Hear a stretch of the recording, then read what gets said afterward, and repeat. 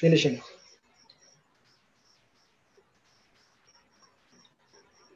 Okay.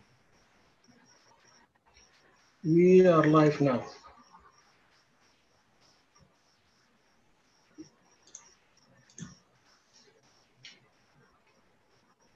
تمام آه، مساء الخير والسلام عليكم ورحمة الله الأخوة والأخوات في مجموعة الباحثين السودانيين أولا نعتذر للتأخير ساعتين تقريبا لمشكلة فنية صغيرة كده.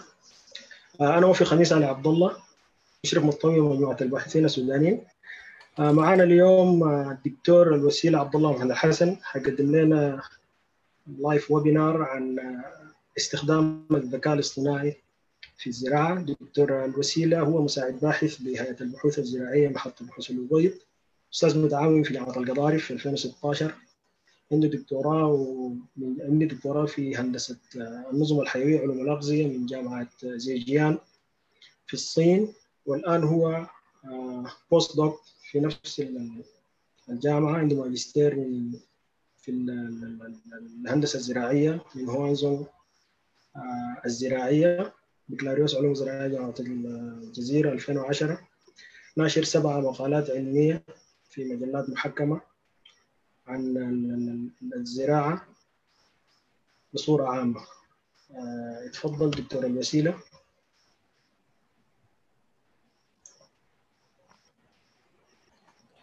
بسم الله الرحمن الرحيم. آه الاسم الوسيل عبد الله محمد حسن. آه أولا حاجة شكرا الأخ وفي للاستضافة لعمل البث المباشر في استخدام الذكاء الاصطناعي في الزراعة.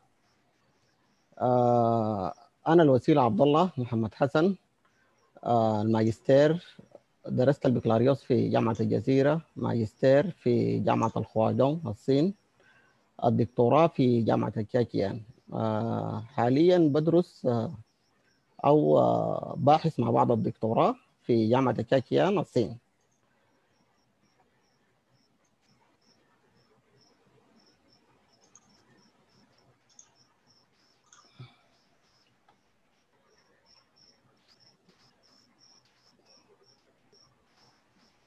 ظاهر عندك؟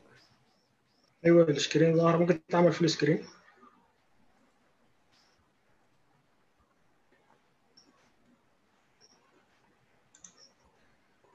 طيب آه، حنتكلم اليوم عن استخدام أو الذكاء الاصطناعي في الزراعة. الزراعة في كل المجالات آه، الزراعية المختلفة. آه، ال seminar ده بيحتوي على جزئين.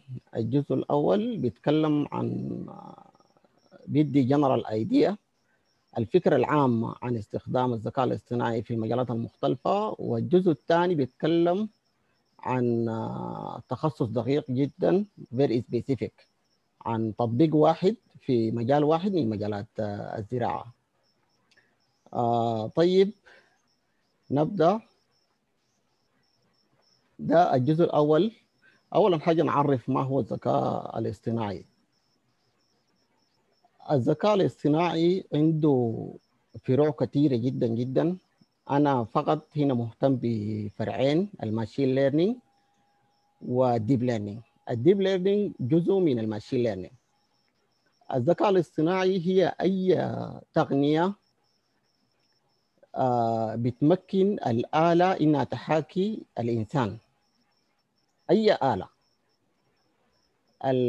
ال machine learning فرع من ال artificial intelligence أو فرع من الذكاء الاصطناعي اللي هو بتستخدم خوارزميات معينة عشان تمكن الآلة من إنجاز مهمة محددة. الديب ليرنينج فرع من ال machine learning اللي هو بتستخدم طبقات آه، عميقة جدا جدا عشان تعمل حسابات رياضية معينة لغرض معين. هنتكلم عن الفرق عن ال machine learning وال deep learning بالتفصيل. بعد نجي لها في آه، التطبيق ال- في الشغل بتاع ال PhD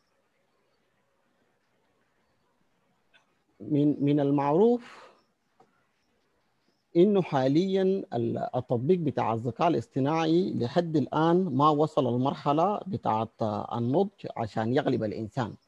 لكن متوقع متوقع إنه في عام 2040 إنه الذكاء الاصطناعي يكون متساوي مع عمل الإنسان. عنده نفس الذكاء بتاع الإنسان. ده في 2020 في 2060 متوقع إنه الذكاء الاصطناعي يقوم يغلب الإنسان يهزم الإنسان في في معظم مجالات الحياة. الخطر الوجودي من الذكاء الاصطناعي العام يرجع إلى الفرضيه الغائله إن التقدم الكبير في الذكاء الاصطناعي العام قد يؤدي إلى الانقراض البشري أو إلى كارثة عالمية غير قابلة للاسترداد. والحجة الداعمة لهذه الفرضيه هي إن البشر مهيمنين على باقي المخلوقات لامتيازهم بدماغ ذو قدرات مميزة تفتقر إليها أدمغة المخلوقات الأخرى كالحيوانات مثلا. إذا تفوق الذكاء الاصطناعي على الأدمغة البشرية وأصبحت بدورها فائقة الذكاء فإنها تكون قوية جدا ويصعب التحكم بها في المستقبل. آه لذلك بدت المخاوف عن استخدام الذكاء الاصطناعي في في مجال عن الاستخدام الخاطئ للذكاء الاصطناعي. نفس الخطر بتاع استخدام الفيروس. ده نفس العالم بيل جيتس حذر من خطر انتشار الفيروس الاستخدام الخاطئ لعلوم الفيروسات برضه حذر من الخطر بتاع استخدام ال artificial intelligence في المستقبل. ده ال Microsoft co-founder دي تطبيقات جزء من تطبيقات الذكاء الاصطناعي في الزراعة. إنها أول تط... أول التطبيقات لي في ال plant phenotyping وده حاتكلم عنه بالتفصيل في الجزء الثاني. آه برضو عندها تطبيقات في ال fruit harvesting ال fruit آه sorting وعندها في آه مراقبة السلوك العام بتاع الحيوان وصحته. وبرضه مستخدم في ال insect classification تصنيف الحشرات تصنيف التربة في التعرف على الأمراض والتحكم فيها. برضو مستخدم في التعرف على الأصناف المختلفة للنباتات ومستخدم في ال greenhouse في البيوت المحمية الذكية ومستخدم في ال irrigation system عنده تطبيقات كثيرة جدا في في ال slide الجاية حنتكلم عن جزء منها وبعد ذلك نتكلم بالتفصيل عن تطبيقاتها في ال plant phenotyping لأنه ده التخصص بتاعي الدقيق. العملية بتاعت ال artificial intelligence تطبيقها في أي مجال من مجالات الزراعة بيمر بثلاثة خطوات أساسية. اولا خطوة اللي هي جمع الداتا. الداتا بيتم جمعها بسنسرات مختلفة سواء كان عن طريق ال satellite الكاميرا العادية المعلقة في اليد أو ال UAV أو السنسرات بتاع السنسرات بتاعت التمبريتشر والهيوميديتي بتاعت جمع المعلومات المناخية. بعد ذلك بيتم معالجة المعلومات دي باستخدام خوارزمية معينة deep learning أو machine learning دي بعض ال software المستخدمة ال MATLAB ال Python وال C++ وأيضا هنالك software أخرى مستخدمة في في معالجة المعلومات. الخطوة الثانية اكشن بعد يتم تحليل المعلومات بعد ذلك بيتم اتخاذ قرار. سواء كان التحكم مثلا هي سواء كان التحكم في الحشائش أو حصاد الفاكهة أو هنا فهم فهم ال interaction بين the environment and genotype and phenotype. بالنسبة لل plant phenotyping آه واحدة من استخدامات الذكاء الاصطناعي في الزراعة اللي هو قياس المحتوى الرطوبي للتربة. ال sensor ده ال sensor بيقوم بيقرأ الفولتيه والتيار أو المقاومه بعدك عن طريق ال microcontroller بيقوم بترجمة أو باستخدام عن طريق ال microcontroller أو باستخدام موديل معين سواء كان linear regression أو polynomial regression آه بعدك بيقوم بترجمة لإشارة بتمشي هنا لل motor. ال motor بعد ذاك آه بيقوم بيفتح في زمن معين عشان يدي كمية موية معينة للنبات. هنا آه، تم تطبيق عملي. ده فيديو من اليوتيوب. لو لاحظتوا هنا السنسر بيقوم الآلة بيقوم تدخله داخل الأرض بيقيس نسبة الرطوبة. وعلى أساس نسبة الرطوبة بعدك بيغرر كمية الموية الممكن يضيفها. هل ممكن يضيف موية أو ما يضيفها؟ هنا لو لاحظنا هنا تم القرار إنه أضاف موية في نفس المكان اللي قاس منه آه كمية الرطوبة. آه دي واحدة برضو من تطبيقات الذكاء الاصطناعي في البيوت المحمية. ده بيت محمي ذكي إنه فيه مجموعة كبيرة جدا من السنسرات السنسرات دي بتجمع معلومات عن النبات نفسه وبتجمع معلومات عن احتياجات النبات من العناصر الغذائية ومن نسبة ثاني أكسيد الكربون. والمعلومات دي بعد يجمعها بيتم تحليلها بخوارزمية معينة وعلى أساس التحليل بعد ذاك بيقوم بيعمل اكشن بيتخذ قرار سواء كان يفتح المروحة للتهوية يفتح السخان عشان يزيد درجة الحرارة يفتح ال fertilizer عشان يقوم يغذي النبات. وال sensorات دي بتكون مربوطة عن طريق wireless أو عن طريق أي آه جهاز بيعمل communication بين ال sensorات ديل. دي واحدة من آه أيضا التطبيقات بتاعت ال artificial intelligence ال high throughput plant phenotyping اللي حنجي نتكلم عنها بالتفصيل. لو لاحظنا إنه التراكتر ده بيقوم بيحمل معاه مجموعة كبيرة جدا من ال sensorات اللي هو ال sensorات بتاع قياس المناخ. ال sensorات بتاعت قياس العوامل المناخية.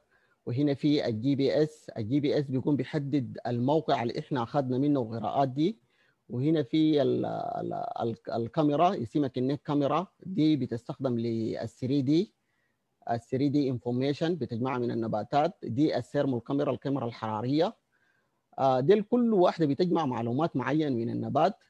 وبعد ذاك المعلومات دي قد يستخدمها مربي النبات في لغرض معين. سواء كان اختيار صنف مقاوم للجفاف أو حاجة زي كده.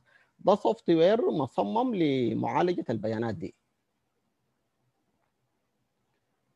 طيب دي ده ده, واحد من الروبوت المستخدم لل weed control.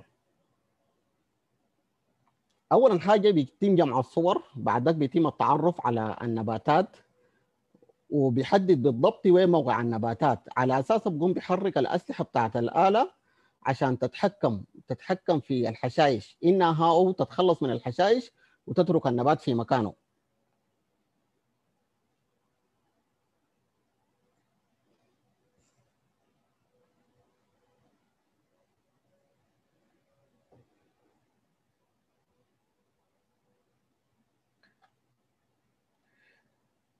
أيضا واحدة من التطبيقات في الفروت سورتنج إنه في المكنة دي بيتم الفرز بتاع الطماطم على حسب درجة النضج بتاعها. الطماطم الما بيقوم بفروزها بوديها في مجرى براها والطماطم اللي حصل لها ripening بيقوم بتمشي في مجرى براها. اللي هو برضه بيتعرف عليه عن طريق ال computer vision ال machine learning وال computer vision.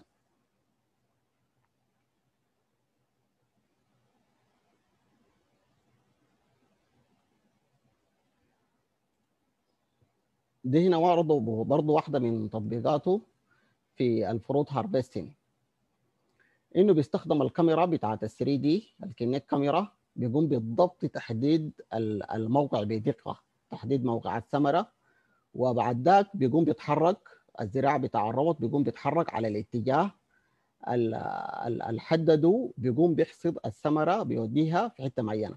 الشغل ده لحد الآن في مشاكل وما اكتمل لو لاحظنا إنه كل الروبوتات دي مطبقة داخل البيوت المحمية under control condition لكن في ال field في مشاكل كثيرة جدا بسبب العوامل المناخية المختلفة. بعض مرات الروبوت ما بيقدر يتعرف على الثمره إذا كانت في object مشابهة ليها ده برضو آه، واحد من التطبيقات دي زراعة زراعة دقيقة إنها بترمي البذرة وفي نفس الوقت بتقوم تروي إنها مستخدمة ل- للري وللبذار أيضا.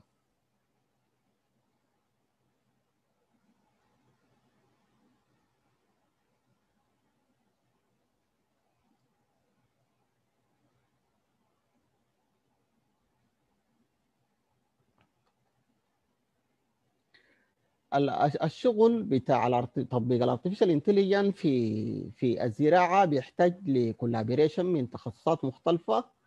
اللي هي التخصصات دي بتضم التخصصات الزراعية تخصص بتاع ال computer science بتاع ال electronic ال mathematic statistic mechanical engineering لازم آه، الناس آه، تضع يدها مع بعض عشان تحل مشكلة معينة في الزراعة. الشموليه لازم يكون في حل شامل. اللي هو يشاركوا فيه ناس من تخصصات مختلفة. آه مثلا ال mechanical engineering يستخدم لل design بتاع الآلة نفسها. آه electronic يقوم باختيار ال microcontroller أو برمجة ال micro microcontroller ال computer science ال mathematic يقوم بالحل develop for advanced algorithm to deal with the image. والتخصصات الزراعية مطلوبة لتحديد آه، المشكلة وتحديد ال- ال- الهدف. إنهم هن ياتوا مشكلة عايزين يحلوها وهم كيف آه، عندهم ترجمة مختلفة للمشكلة من باقي التخصصات المختلفة. عشان كده وقت التخصصات المختلفة تخط يديها مع بعض بت- بتشوف حل حل شامل للمشكلة. هنا آه، في جروب اسمه الفين السودان. الجروب ده آه، صمم خصيصا للغرض ده عشان يجمع آه، الباحثين من تخصصات مختلفة لمعالجة مشكلة معينة خاصة بالزراعة. الجزء الثاني اللي هو أدخل في الشغل حقي بتاع ال PhD حاتكلم أول حاجة حادي introduction عن الشغل وأتكلم عن الأهداف.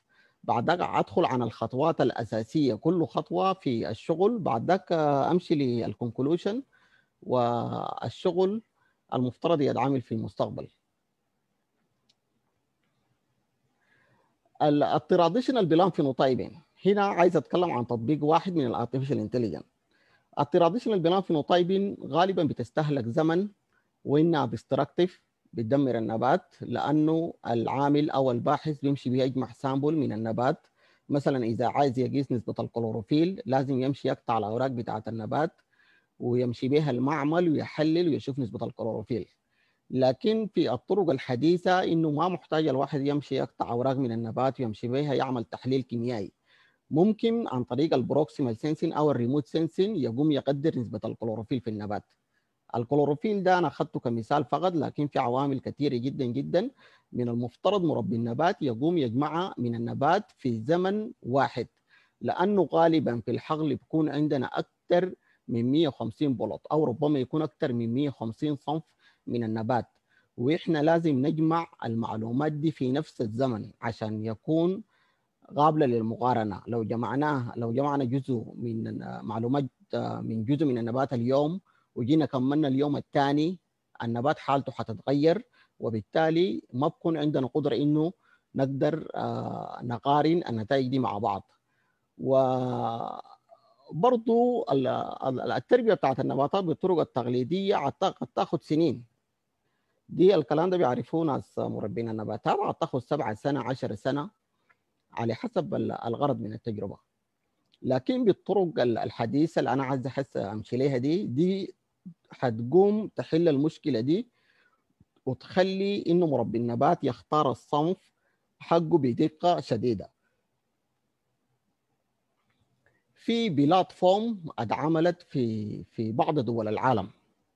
البلاتفورم دي اتصممت خصيصا لل high throughput plant phenotyping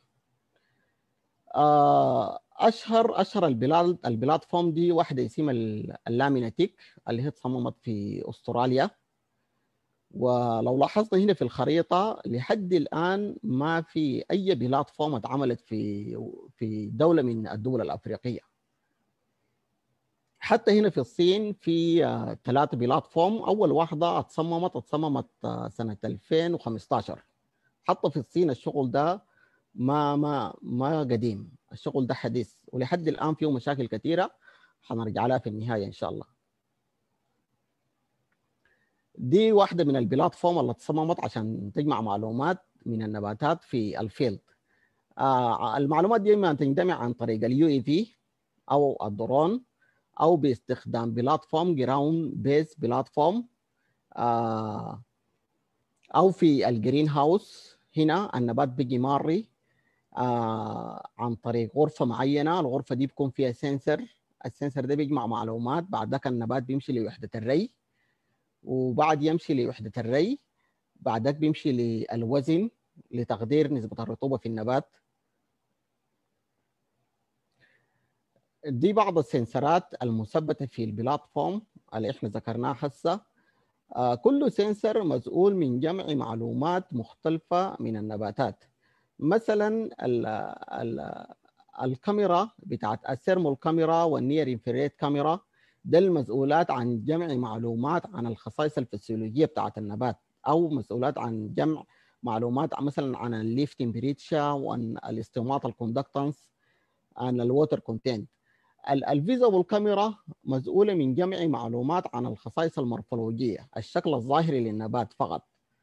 أو قياس نسبة الكلوروفيل لأنه الكلوروفيل برضه يمكن قياسه بال visible spectrum ال fluorescence مسؤولة عن تجمع معلومات عن ال photosynthesis عملية التمثيل الضوئي للنبات.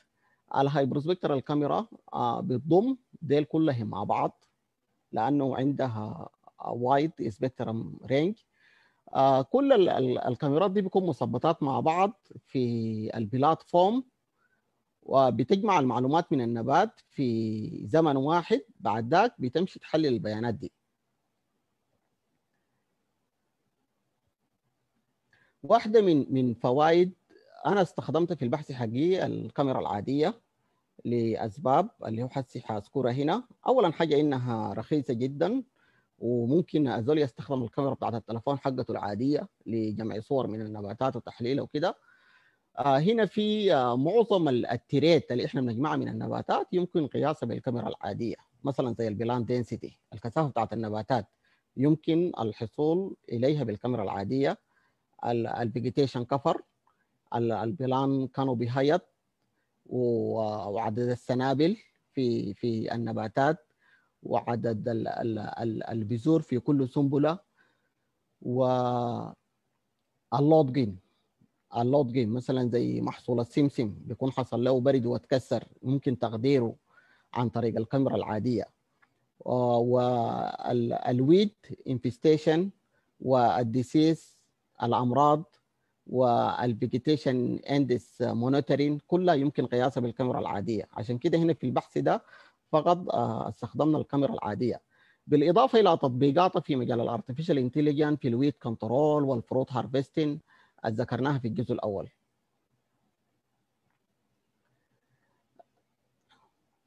How to ensure comparability of the result obtained under different illumination condition.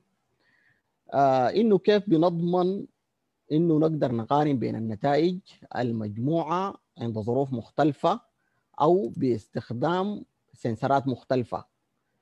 لأنه السنسرات المختلفة قد يكون عندها قد يكون تدينا نتائج بتختلف عن بعضها. إنها كيف نعاير الكاميرات دي مع بعضها عشان تدينا consistent result نتائج متناسقة المشكلة الثانية في المجال ده إنه كيف نقدر نفصل النبات من ال background حقته اللي هو يسمى ال image segmentation. بعد نفصل النبات من ال background بتاعته إحنا لازم نستخلص features features معينة من النبات أو trait مثلا طول النبات عرض النبات نسبة الكلوروفيل دي كلها بتسمى features أو feature يمكن استخلاصها عن طريق ال deep learning دي طبعا لا يمكن توصيفها لأنه magic ال deep learning بتستخدم feature انه عين الإنسان ما ما بتقدر تتخيلها أصلا.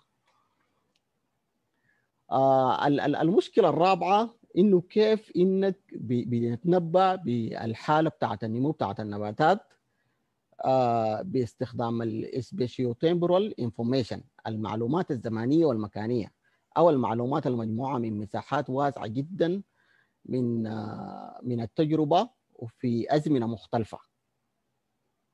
الدراسة عالجت كل المشاكل دي زي ما حنجي هنا نشوف بالتفصيل.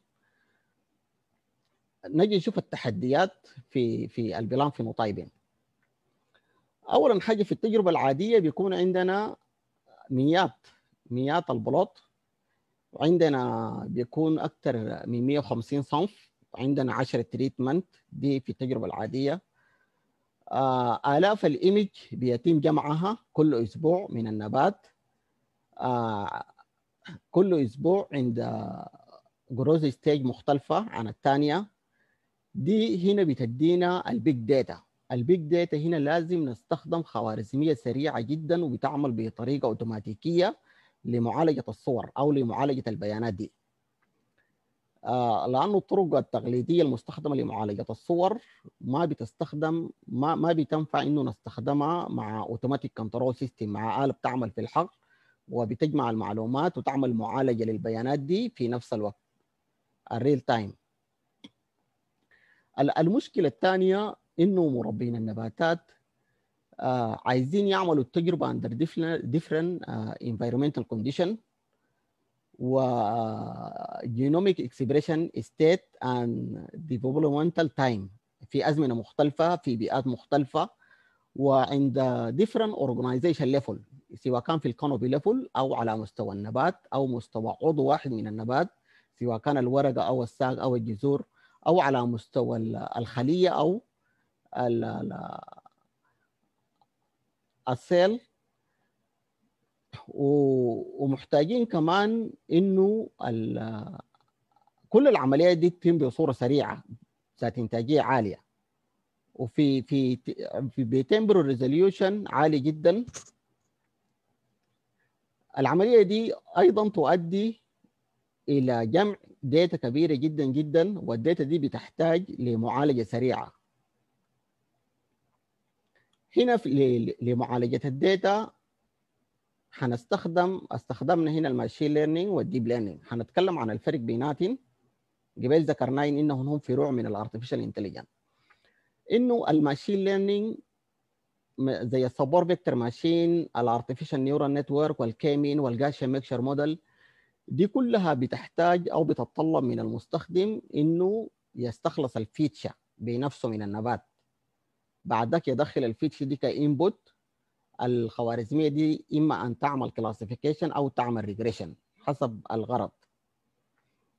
مثلا هنا أخذنا ان عملت classification سواء كان مثلا إذا كان الغرض حقنا إنه دايرين نشوف إذا كان في nitrogen deficiency أو potassium deficiency ال deep learning بتتميز عن ال machine learning إنها ما محتاج إنه إحنا نديها ال feature دي إنها هي بتتعلم ال feature بنفسها. خلال عمليات بت... المعلومات بتمر بطبقات مختلفة في ال deep learning بتستخلص ال feature ال feature دي بتمشي للنهاية لطبقة اسمها ال softmax layer ال softmax layer بعداك بتعمل classification لل data دي. إن قدرتها ممكن تفوق قدرة الإنسان للتعرف على الأشياء لأنه نحن بعض مرات وقت يكون في nutrient في النبات بعين الإنسان ما بنقدر نتعرف عليها. لكن عن طريق ال deep learning بنقدر نتعرف عليها بسهولة. إنها بتدينا دقة أكثر من عين الإنسان.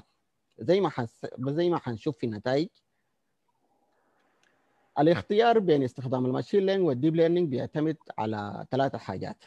هل عندنا soft عندنا hardware مثلا زي ال GPU. ال GPU بيختلف عن ال CPU. ال GPU مستخدم مستخدم أصلا مخصص لل gaming هنا استخدمناه لمعالجة البيانات لأنه ال deep learning بتتطلب GPU إذا ما عندنا GPU ربما معالجة البيانات دي تاخذ شهور. حتى بال GPU ربما تاخذ أسبوع. عشان نعمل run ل algorithm معينة ربما تاخذ أسبوع. إذا ما عندنا جهاز ده بنستخدم ال machine learning العادية ال traditional machine learning آه كمية ال data برضه اللي عندنا.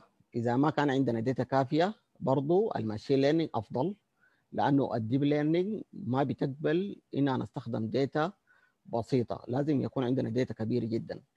آه، أيضا ال domain knowledge ال domain knowledge نحن لازم يكون عندنا معرفة كبيرة جدا بالمشكلة اللي إحنا عايزين نحلها.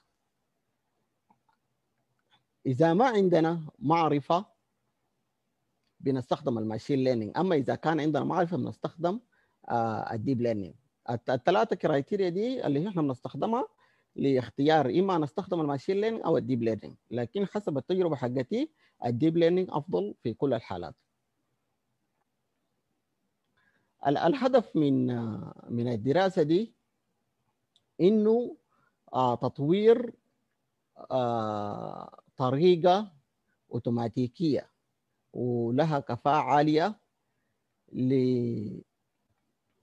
لقياس خصائص النباتات بسرعة عالية جدا ومن غير ما نكسر النباتات باستخدام ال machine learning تكنيك آه بالتحديد آه عملنا develop لخوارزمية إنها بتعمل على معالجة اللون بتاع الصور لأنه زي ما ذكرنا إنه ال sensor ات المختلفة بتدينا آه data مختلفة متباينة عشان نتحصل على consistent result لازم نعاير ال sensor ات دي. هنا اولا خطوة في الشغل تم معايرة ال image ال color بتاع ال image.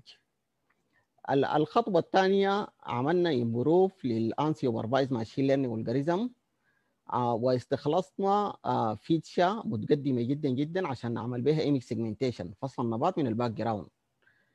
آه برضه هنا في الطريقة دي حصلت مشكلة وقت يكون في حشائش كثيره جدا مع النباتات والحشائش دي بتشبه النباتات. إنها صعبة جدا إنها تتفصل بال machine learning زي ما حنشوف. عشان كده استخدمنا هنا ال deep learning لمعالجة المشكلة دي. استخدمنا ال deep learning الخطوة النهائية بعد عملنا segmentation للصورة استخلصنا من الصورة دي feature وعن عملنا بها diagnosis تشخيص للحالة النيتروجينية بتاعت النباتات. دي الثلاثه خطوات اللي هو الخطوة الأولى ال color calibration image segmentation and nutrient status diagnosis الغرض من ال color calibration إنه عشان نضمن التكرارية بتاعت التجربة.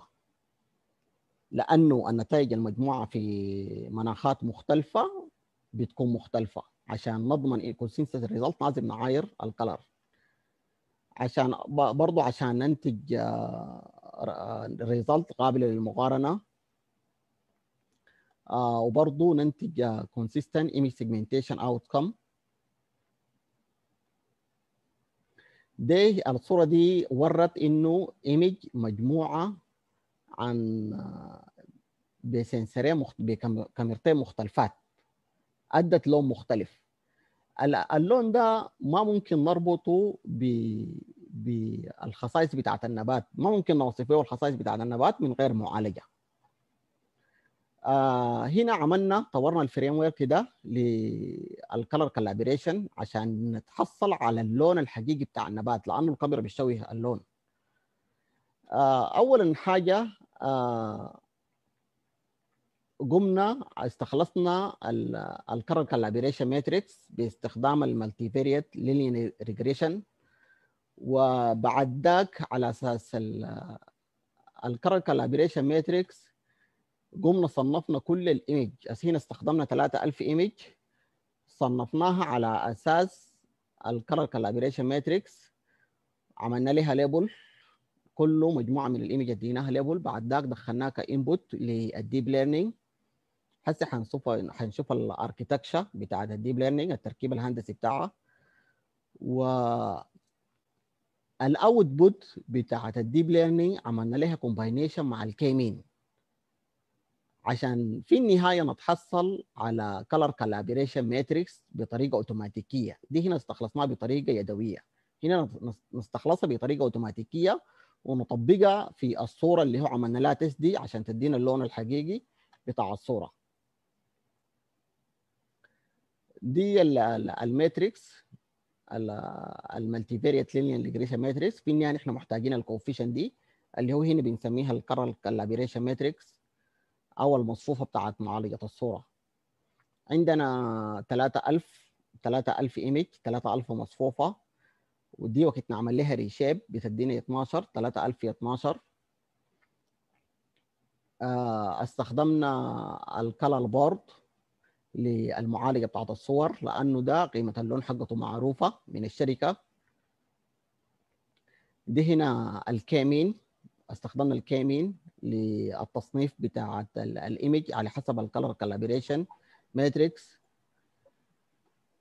لو لاحظنا إنه هنا كل cluster بيختلف عن الثاني أو بيبعد من الثاني دي التركيبة التركيبة الهندسية بتاعة ال deep learning إنه ال deep learning معروف إنه المعلومات بتمر بطبقات مختلفة. لحد الطبقات دي من هنا من الطبقة بتاعة ال convolution layer وال batch normalize layer and ال rectified linear unit layer كل مجموعة من الطبقات دي بتحتوي على الثلاثه ديل conv and bn and rectified linear unit layer. هنا في 10 طبقات بتاعت convolution layer. اللي هو دي الطبقات المسؤولة من استخلاص ال feature من النبات. بعد ذاك ال feature آه بندخلها لل softmax layer عشان تدينا آه تصنيفات أو diagnosis لل image دي دي الخصائص بتاعتها. التركيبة بتاعت ال deep learning دي في في أصلا architecture مصممة جاهزة ممكن الواحد يستخدمها. لكن غالبا نحن في شغلنا بتاع الزراعة ما محتاجين لل architecture المصممة لأنه حجمها كبير جدا جدا. لازم نصمم واحدة بنفسنا عندها حجم بسيط ما يكون فيها parameter كثيره عشان بعدين وقت نجي نطبقها وقت نجي نعملها ك embedded system إنها بتعمل مشكلة في معالجة الصور ربما تأخر ال image processing ده ال parameter اللي إحنا استخدمناها للتدريب. هنا الشكل ده بيوري واحدة من الصور بتاعت النباتات باللون الحقيقي بعد المعايرة. أنا أنا ما حادخل في الكلام المعقد ده بتاع المعادلات لأنه ده عايز شرح بالتفصيل وحياخذ زمن عندنا كم slide في ال presentation ده.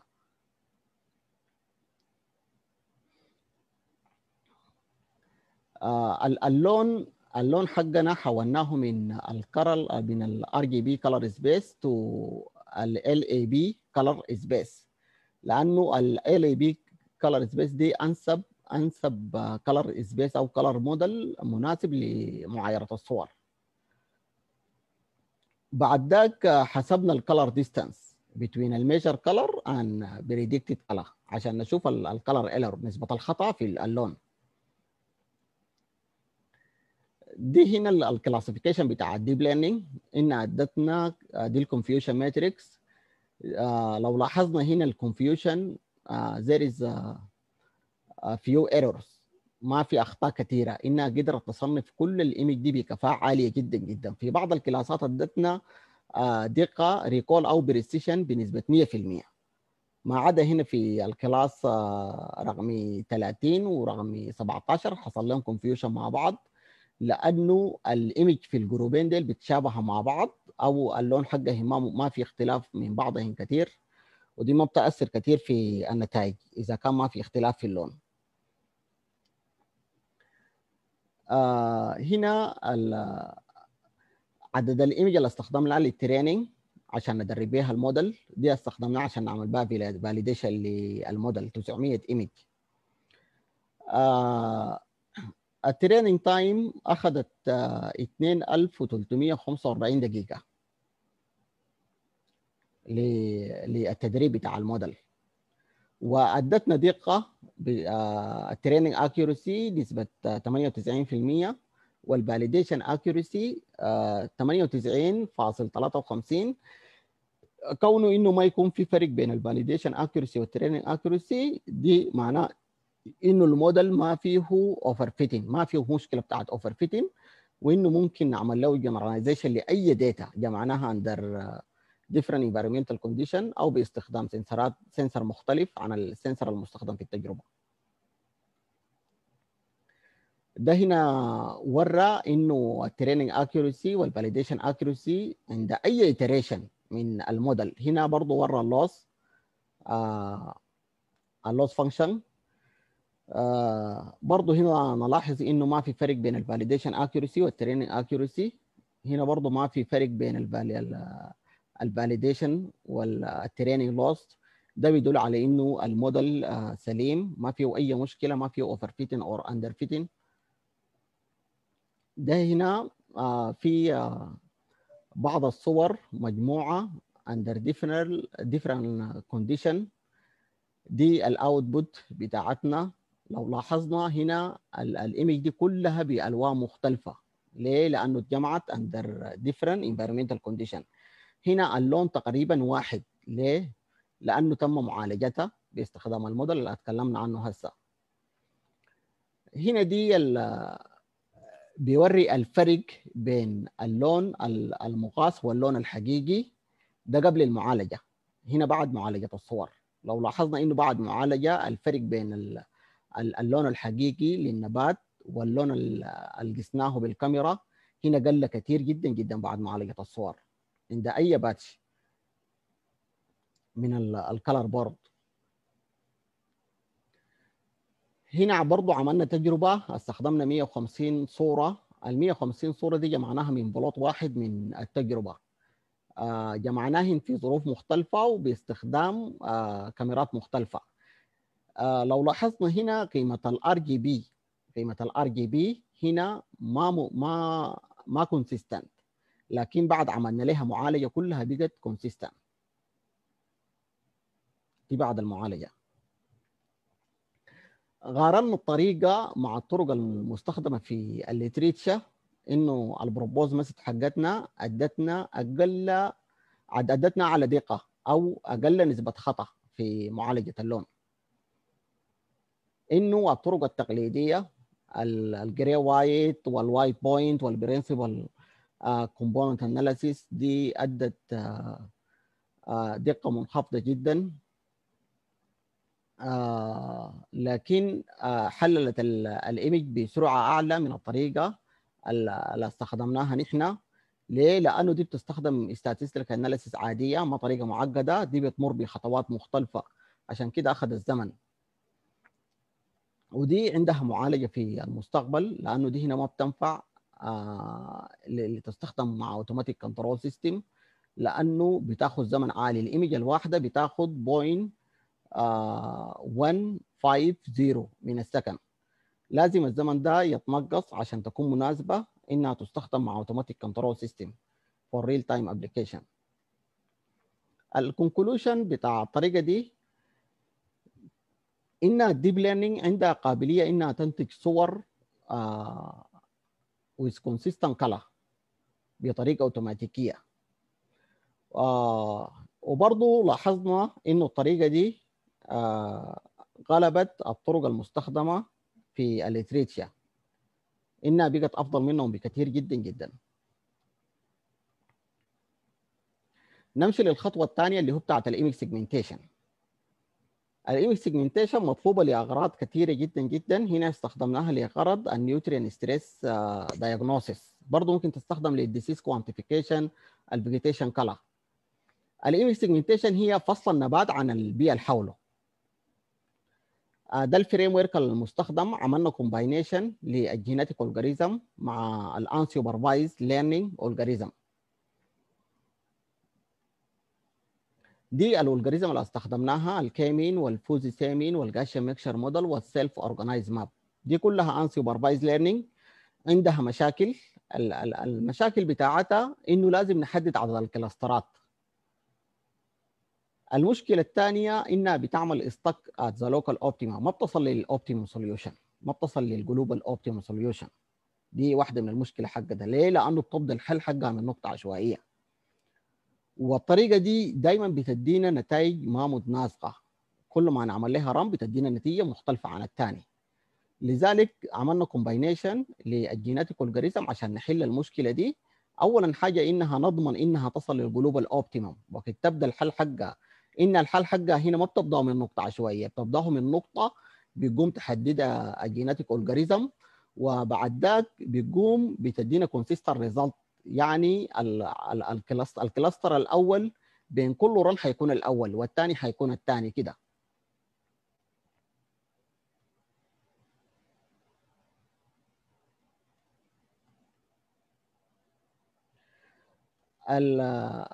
برضه هنا حولنا ال image حقتنا من ال RGB color space ل different color space هنا في 10 color space قمنا حولنا ليها الصورة وبعد ذاك قمنا استخدمنا واحدة من ال classifier عشان نحدد أنسب color configuration نحدد ال optimum color feature عشان نستخدمها ك input للخوارزمية دي. هنا استخدمنا واحدة من ال ال ال ال cluster validity index indices عشان نختار بها ال optimum number of the cluster هنا استخدمنا اثنين والاثنين ادلنا ال optimum number of the cluster خمسة خمسة كلاسترات دي هنا ورى إنه ال genetic algorithm بتبحث لل optimum solution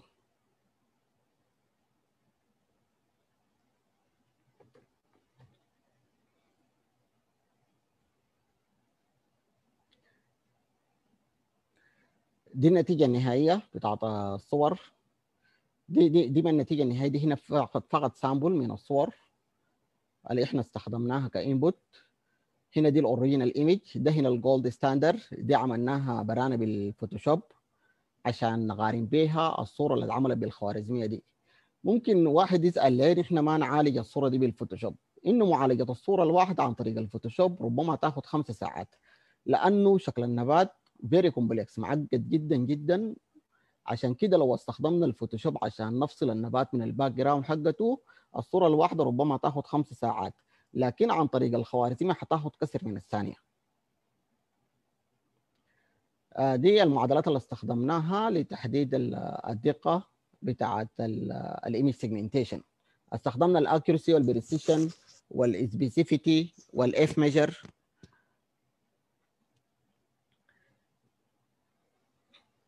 هنا الشكل ده آه بيوري إحنا اخترنا الفيتشر الفيتشر من different color configuration. ال feature اللي إحنا استخدمناها ك input للخوارزميه دي. اخترنا ال color configuration على أساس أقل نسبة خطأ. هنا ال classification error مثلا هنا استخدمنا ال G number 2 هنا استخدمنا الثلاثة ال L A B channel من ال image استخدمناهن على أساس أقل classification error بعد ذاك ال channel from different color space عملنا لهم combination مع بعض concatenation وبعد ذاك دخلناها ك input لل unsupervised learning algorithm عشان تعمل لنا image segmentation دي النتيجة النهائية. ما حنشوف الفرق بين الطرق المختلفة بوضوح لكن من ال quantitative result الفرق ده حيوضح. آه أنسب أو أدق خوارزمية كانت ال support vector machine المحسنة في ال proposed method. ما ال standard؟ بعد عملنا لها combination مع ال genetic algorithm أدتنا أعلى دقة. لكن هنا الزمن بتاع ال classification لل image كان عالي جدا مقارنة بال K-means. ال K-means كانت سريعه جدا جدا. هنا ال figure ده بيوضح إنه عند استخدام ال genetic algorithm لل initialization إنه الخوارزمي الخوارزميات دي عملت convergence بسرعة مقارنة بالطرق العادية ال standard method. انه وقت تبدا من نقطة عشوائية انها ما بتصل للحل بسرعة. لكن وقت تستخدم ال genetic algorithm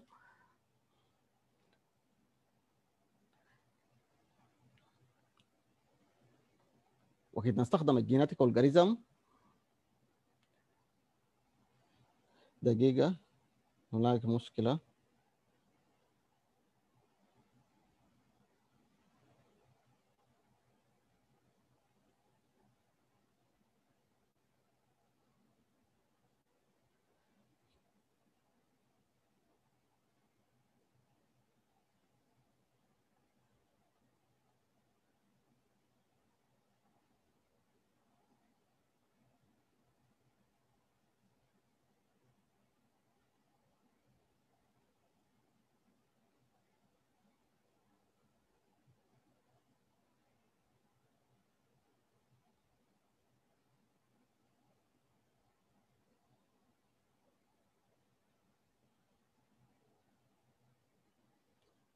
ألو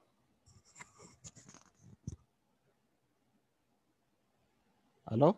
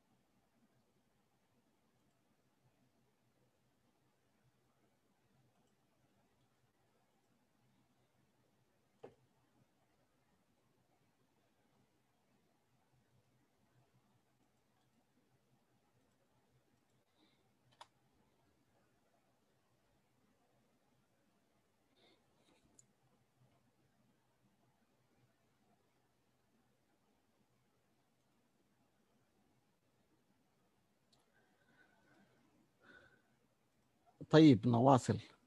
معلش بس ال- ال admin رسل لي قال إنه فقد الاتصال. أنا افتكرت إنه ال live وقف في الفيسبوك.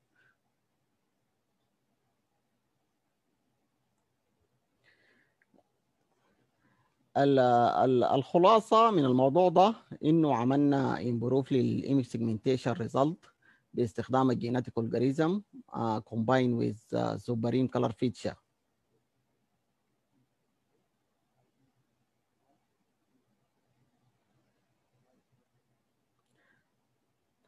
لكن الطريقة دي فقط مناسبة لمعالجة الصور with uniform background. السلام عليكم. السلام عليكم. عليكم السلام.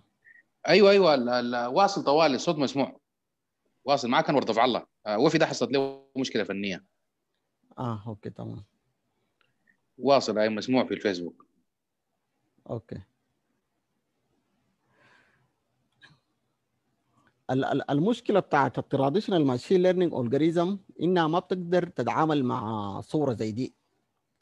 إنه وقت يكون الحشائش في تشابه كبير جدا جدا بين الحشائش والنباتات في الشكل وفي اللون. عشان كده في الطريقة دي استخدمنا ال deep learning ال deep learning زي ال magic. إنها بيقوم تتعرف على على الحشائش بيقوم تفصل بدقة كبيرة جدا جدا من النباتات وبالتالي بنقدر نتعامل مع النباتات في الخطوة اللي بعدها. بيل شكله إنه ما كان ما كنت في الا ولا ما زمان ما سألني تعرف لأنه حتى أنا أول ما يدخل طوالي بيسألني بيقول لي إنه يا شباب اقفلوا المايك يا عزيزة ومبارك. نلاحظ لما تجي الفترة بتاعت الأسئلة والأجوبة إن شاء الله حنفتح المايكات يا شباب. نلاحظ معلش واصل يا باشمهندس. آه، لو كونتراكس آه في آه، هاي دنسيتي ويت طوالي كده دخلت الكونكشن لأنه ضعيف ما قادر. وفي بقايا نباتات عملت برضو كليك في. الصورة. ده لما الميتنج يكون عام. في تعمل كليك للرابط بيقوم بالهوست ال ال ال انه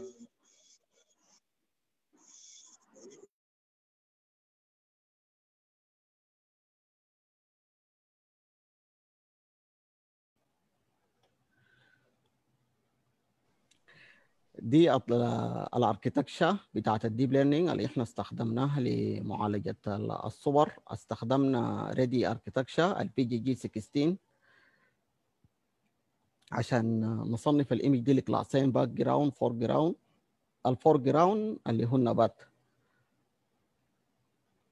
استخدمنا ثلاثة approach من ال transfer learning في ال approach الأول استخدمنا ال weight ال weight and bias أصلا ال VGG دي أصلا مدربة على أكثر من مليون image نسنا إحنا استخدمنا ال weight المدرب ده نقلناه للمهمة حقتنا ل image segmentation بتاعتنا.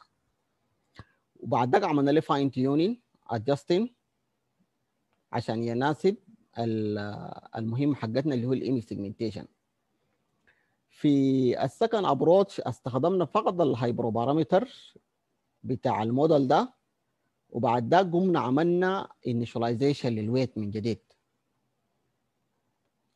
في ال approach الثاني المنهج الثاني من ال transfer learning استخدمنا ال deep learning فقط لل feature extraction بعد ذاك ال feature اللي إحنا استخلصناها بعد ذاك دخلناها ك input لل traditional machine learning algorithm عشان نعمل بها segmentation دي هنا ال training option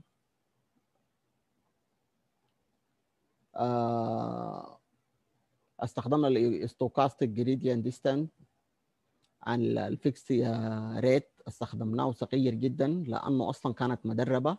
إحنا محتاجين نعمل فقط adjustment لل weight and bias واستخدمنا ال image segmentation ال image augmentation عشان نزيد عدد ال image هنا استخدمنا فقط 240 image في التجربة حقتنا ودي باعتبارها عدد صغير جدا آه لل deep learning عشان كده عملنا data augmentation عشان نكبر العدد بتاع ال image اللي هو عملنا flip translation لل image وبالتالي الموديل بيكون عنده قدرة إنه يعمل generalization دي هنا النتيجة لو لاحظنا إنه ال model ال fine-tuned VGG 16 قدر إنه يفصل النبات من من الحشيش بنسبة عالية جدا جدا. كل الطرق دي أدتنا دقة عالية لكن نسبيا ال fine-tuned VGG 16 with data augmentation أدانا أعلى accuracy مقارنة بالطرق الثانية دي. لكن كل الطرق دي أدت دقة عالية. دي هنا ال quantitative result أعلى accuracy اللي هو كانت 93 93% ودي باعتبارها كافية جدا. وهنا برضو الزمن بتاع ال segmentation معقول. ما بينفع برضو يستخدم لل automatic system لكن معقول.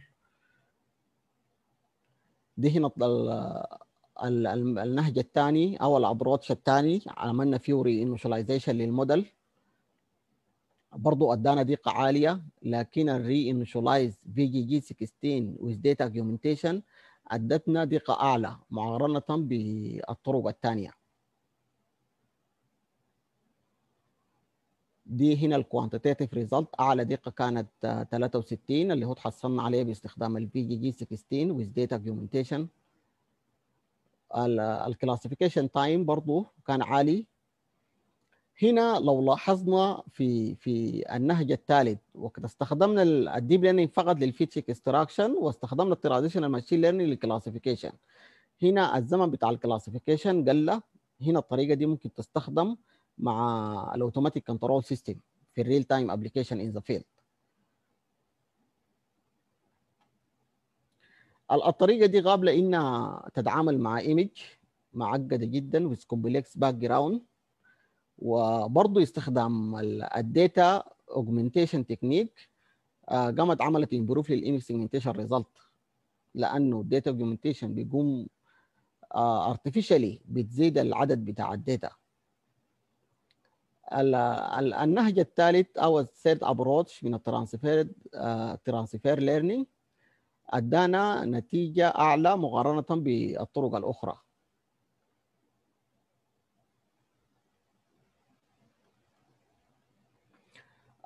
الخطوة الثالثة اللي هو بعد نحن فصلنا النبات من من ال background حقته بعد ذاك دايرين نعمل diagnosis لل nutrient status بتاعت النبات للحالة النيتروجينية بتاعت النبات. نحن فصلنا النبات من البيئة حولته عشان نتخلص من ال noise لأنه أي حاجة غير النبات بتعتبر noise للخطوة اللي إحنا هسه حنتكلم فيها دي.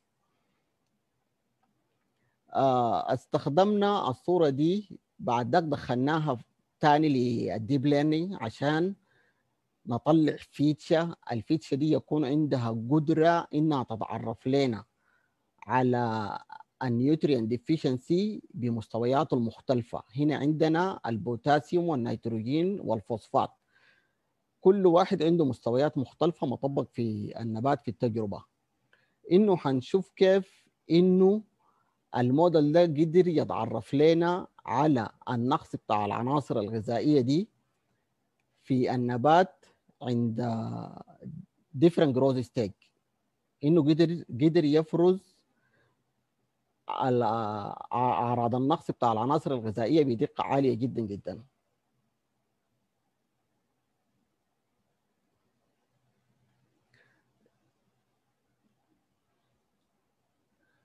نمشي الحاجات دي كلها مهمه طيب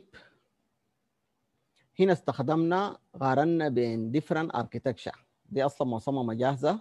قارنا بيناتها استخدمناها فقط لل feature extraction ما لل classification ودي بتختلف ال size حقها بيختلف ال size بتاع ال input وعدد الطبقات برضه بتختلف. مثلا ال VGG 16 عندها 41 layer طبقة لكن الطبقة اللي فيها parameter من المفترض تتدرب 16 فقط. عشان كده سميت VGG 16 ال size حقها باعتباره كبير مقارنة بالحجم بتاع ال architecture الأخرى. 227 ميجا بايت. ودي برضه بعدين بتسبب مشاكل وكنت نستخدمها مع ال automatic control system. دي ال traditional feature ال traditional feature مثلا زي ال color feature وال texture feature وال vegetation fraction دي ال traditional feature دي أصلا الناس كانوا مستخدمينها للمعالجة بتاعت الصور. لكن ما بتنفع وقت نحن نعمل معالجة للصور في ال field. ممكن تنفع في ال greenhouse في ال lab لكن في ال field بتدي آه نتائج مختلفة تماما وما بتدي دقة عالية. إحنا استخدمناها فقط للمقارنة عشان نوري أهمية استخدام ال deep learning أو ال deep feature في ال nutrient diagnosis استخدمنا ال long short-term memory لأنه عندنا time series data image مجموعة من نباتات في فترات نمو مختلفة. بعد ذاك استخلصنا من ال image دي feature ودخلناها ك time series data لل long short-term memory عشان نعمل بها classification دي ال parameter بتاع الموديل دي ال architecture بتاع ال long short-term memory. هنا الشكل ده بيورينا فقط simple unit واحدة. unit واحدة. هنا استخدمنا أكثر ب 200 unit مع بعض في ال architecture دي. ما حنتكلم بالتفصيل برضه حتاخذ زمن. هنا دي ال feature المستخلصة عملنا لها فقط visualization إنه لو لاحظنا هنا ال architecture بتاعت ال Inception V3 أدتنا classification بدقة أعلى. لأنه هنا لو لاحظنا كل cluster بيبعد عن الثاني مسافة أو يمكن فرزه من ال cluster الثاني بسهولة جدا جدا. مقارنة بال traditional handcrafted feature لو لاحظنا إنه مستحيل إنه نقدر نفرز بين ال class ات أو بين ال cluster ات المختلفة باستخدام ال handcrafted feature لأنها ما دقيقة ما زي ال deep learning وإنه بالطريقة دي مستحيل نقدر نتعرف على ال nutrient deficiency سواء كان فوسفور أو بوتاسيوم أو نيتروجين. وال level ال level برضه مهم جدا إنه نتعرف على كمية النقص قدر شنو عشان بعد ذاك الآلة تعوض النقص ده. آه في خلال التجربة حقتنا أيضا استخدمنا ال multi-class support vector machine عشان نقارن بها الاداء بتاع ال long short-term memory. مع مع ال feature المستخلصة باستخدام different architecture باستخدام أيضا ال handcrafted feature لو لاحظنا إنه بغض النظر عن ال feature المستخدمة إنه ال long short memory أدتنا دقة عالية في كل الحالات مقارنة بال support vector machine اللي هو traditional machine learning algorithm أدتنا دقة عالية جدا جدا. أما إذا جينا قارنا ال feature extraction extractor أو ال deep learning بنلقى هنا ال Inception أدتنا دقة عالية جدا جدا وكده عملنا لها combination مع ال long short-term memory ده هنا ورى ال confusion matrix ل different scenario من التجربة حقتنا نحن. آه هنا وكده عملنا combination لل handcrafted feature أو ال hand engineering feature مع ال long short-term memory آه في classification error كثيره جدا جدا. هنا ال classification error قلت باستخدام ال Inception feature extractor عملنا لها combination مع ال long short-term memory ادتنا دقة عالية جدا جدا في التعرف على العناصر الغذائية بمستوياتها المختلفة. إنها قدرت أتعرفت أو فصلت بيناتهم بدقة عالية جدا جدا. آه هنا ال Inception أو ال features المستخلصة باستخدام ال Inception V3 مع support ال multi-class support vector machine برضه هنا الدقة قلت ليه؟ لأنه هنا ال support vector machine ما بيتعامل مع ال time series data أو بيتعامل معاها زي كأنها مجموعة عند single time point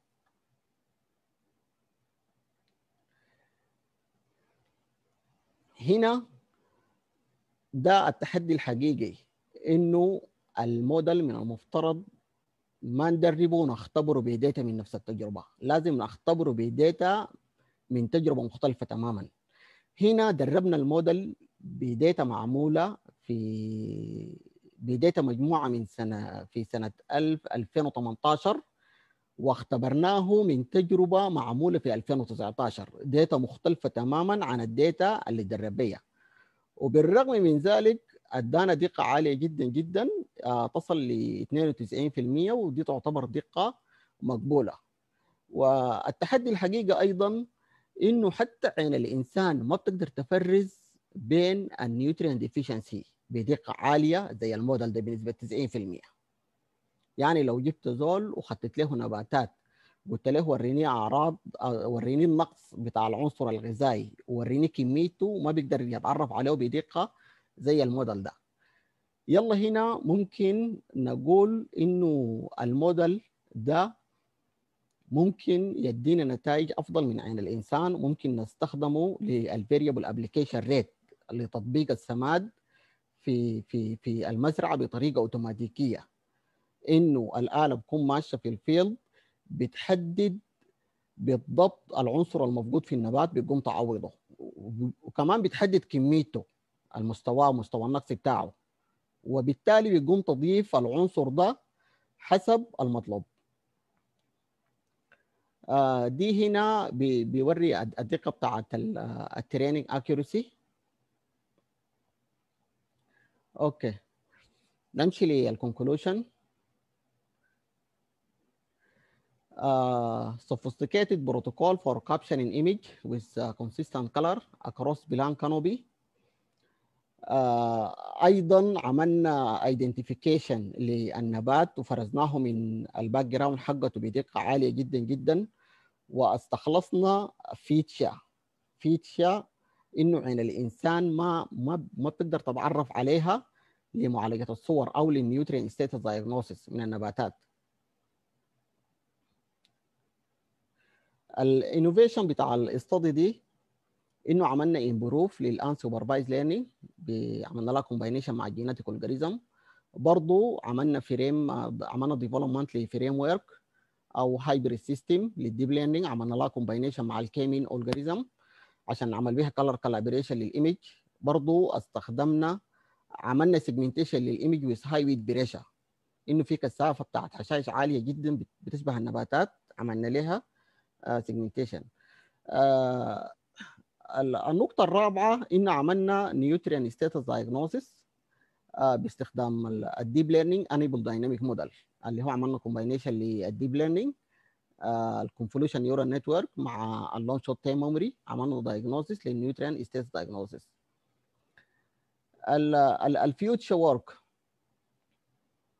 إنه هنا فقط استخدمنا ال long short time memory لل nutrient diagnosis لكن دي ممكن تستخدم لتطبيقات كثيرة جدا في في مجال الزراعة.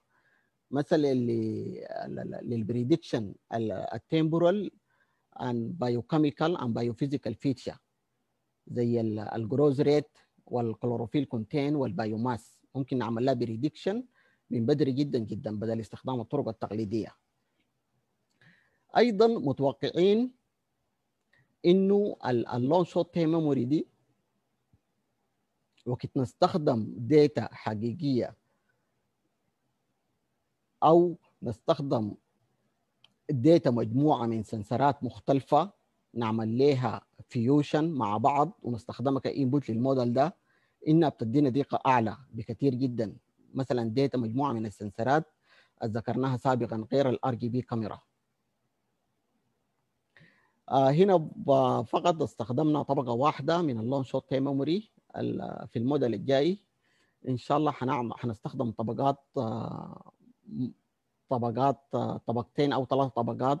وبعد ذاك نقوم نختار ال parameter بتاع الموديل ده باستخدام ال particle swarm algorithm لانها هي بتقدر تختار ال optimum parameter لل model ده. وعشان نحسن من الدقة حقته في نفس الوقت نقوم نقلل حجمه نقلل عدد ال parameter حقته ويكون مناسب جدا إنه نعمل له combination مع ال automatic control system هنا دي ال publication من من كل خطوة من الخطوات اللي أنا ذكرتها دي كان في ورقة منشورة. الورقة الأولى والثانية كانت في ال image segmentation تجزئة الصورة. الثانية كانت في مع الثالثة كانت في معالجة اللون أو ال color calibration الثالثة كانت عن ال nutrient status diagnosis أما الورقة الخامسة والسادسه دي فقط co-author دي ما متعلقة بالشغل حقي. شكرا للمشاهدة.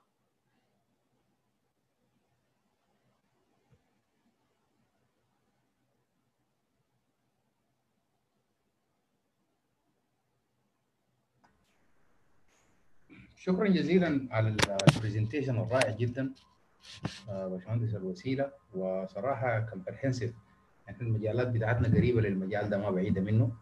لكن شايفك استخدمت combination of algorithms ما بين ال machine learning لل deep learning السؤال بتاعنا من الناحية بتاعت ال cost ال implementation لحاجة زي كده حيكون شكله كيف؟ يعني هل في application هسه موجود في ال real real life؟ ما سمعتك عيد السؤال قلت لك هل في application real life مستخدم هسه حاليا out of ال studies بتاعتكم دي؟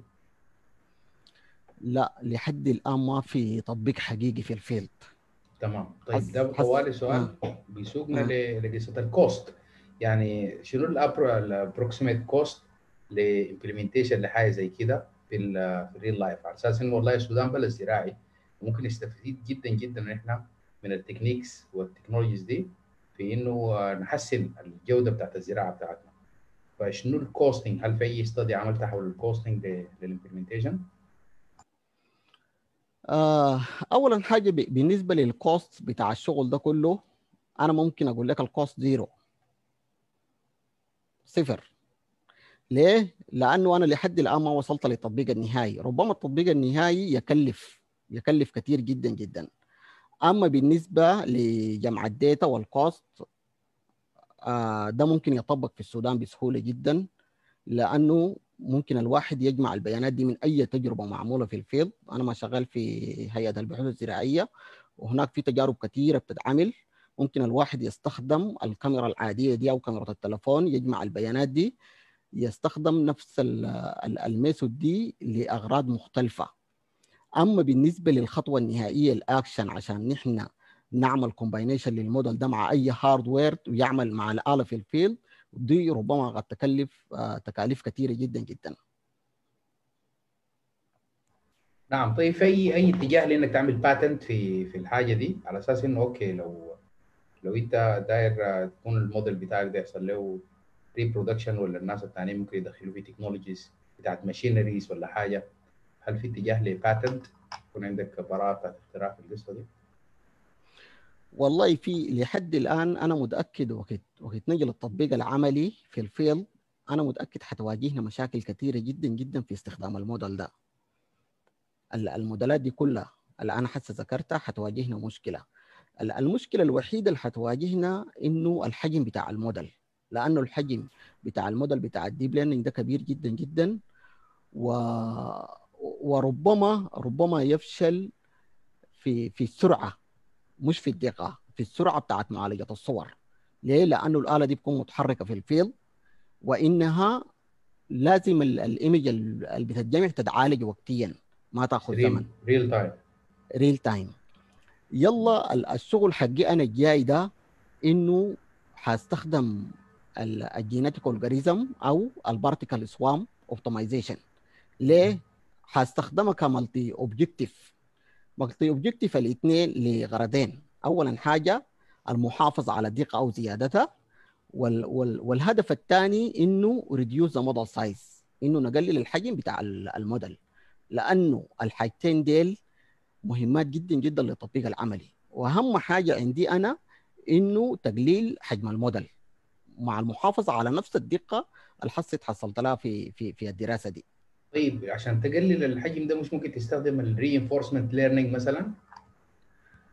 آه ال reinforcement learning برضه أي ممكن ممكن يستخدم للغرض ده لكن أنا آه حسب ال- الدراسة اللي أنا قريتها في ال literature إنه ال particle swarm algorithm أو ال genetic algorithm multi objective genetic algorithm عندها قدرة عالية جدا جدا إنها تختار لنا model with optimum parameter تمام. آه طيب لو في أي سؤال من الشباب الموجودين في زوم هنا يا شباب ممكن الواحد يستخدم الخاصية بتاعت رفع اليد لو في سؤال في الفيسبوك الناس ممكن تكتبه في ال- في الأسئلة في ال في ال comments. ونحن نقول هنا للباشمهندس صراحة يعني شغل ما شاء الله. وحتى ال list of publications يعني برضه ما شاء الله يعني آه، لسه لك كبيرة يا جدا دكتور. جدا. انت خلصت خلاص ولا أنا خلصت الدكتوراه وحسي حاليا شغال في نفس الشغل ده في ال postdoc ما شاء الله ما شاء الله يعني السودان موعود إن شاء الله بعلم ثقيل والله إن شاء الله. للدروس الزراعية إن شاء الله إن شاء الله ربنا يسهل ونقدر نطبق الحاجات دي كلها الله يديكم الصحة والعافية. طيب آه، في أعتقد إنه في ناس ختوا أسئلة هنا ده في ال comments. في الفيسبوك نشوفه.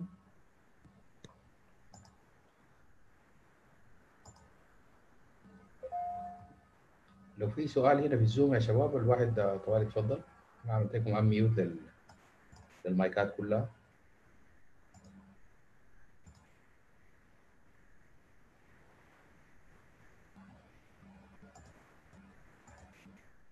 في دكتور مبارك كان معانا هنا من المركز القومي للبحوث آه. لكن آه، طلع ما عارف.